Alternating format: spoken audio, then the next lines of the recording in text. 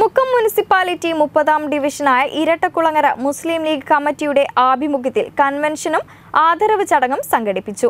അമ്പലക്കണ്ടി താജുദ്ദീൻ മദ്രസയിൽ സംഘടിപ്പിച്ച പരിപാടി വി കെ ഹുസൈൻകുട്ടി ഉദ്ഘാടനം ചെയ്തു.